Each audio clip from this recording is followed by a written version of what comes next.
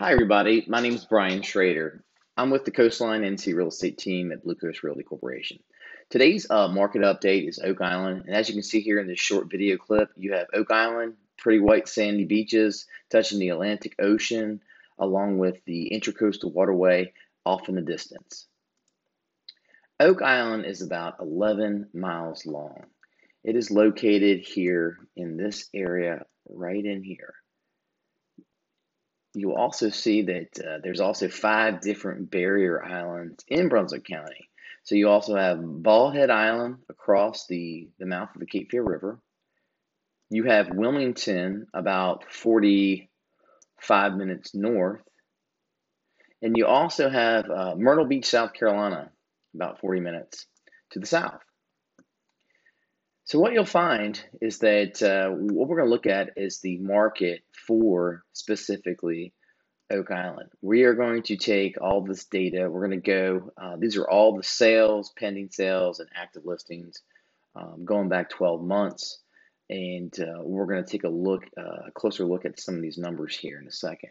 So this is a statistical uh, market analysis for you know all condos, single-family homes, townhomes on the island as you'll see, um, there's about 166 active listings. There's going to be around 68 pending. Um, but what we're re really going to focus on, on is this uh, closing closing number here. Is around 709 closed sales that range anywhere from 285 on up to 2.3 uh, million dollars. So it's a pretty wide range. Um, as you as you look at the data um, and see where the, the market's going, let's get my pointer out here. You're going to find it. We're going to go back uh, about a year. Um, this column here is going to show you 12 to 7 months back, 6 to 4 here, and our current month going back 3. So if you look at all of these data points, you will see that the housing supply right in here has increased from basically 0.9 to about three months of housing supply.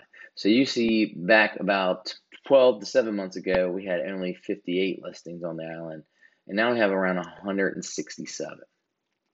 So what that's telling you is that before where we were getting over asking, um, you know, the market's kind of balanced out, going sideways. Sellers are getting around anywhere from 100% of asking to around 98. And I continue, I think that market's going to trend, um, will trend, trend sideways until rates come down, hopefully uh, next year. But if you look at the uh, the island um, itself uh, on our website, you will see one of the, the neat things about this coastal environment is that you can still find homes under under 500,000.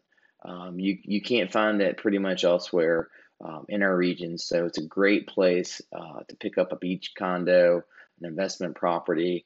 So if you guys have um, any questions about the um, the area, the data, if you want to get your own personal analysis on your house, see what it's worth, uh, give us a call, give us a shot, and we hope to see you on the next update.